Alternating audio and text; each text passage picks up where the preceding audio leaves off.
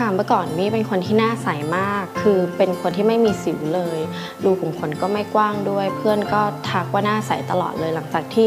มี่ตั้งครรภ์มีน้องฮอร์โมนมี่ก็ผิดปกติไปเลยค่ะแล้วก็คือจะมีสิวขึ้น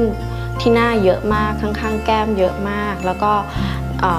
ที่หน้าอกแล้วก็ข้างหลังเยอะมากๆเลย ยิ่งตอนช่วงที่มีประจำเดือนนะคะทำให้แบบสิวอุดตันพวกนี้อักเสบประทุทั่วหน้าเลยค่ะ ก็เป็นสิวจนไม่กล้าออกจากบ้านนะคะ เวลาไปไหนก็ต้อง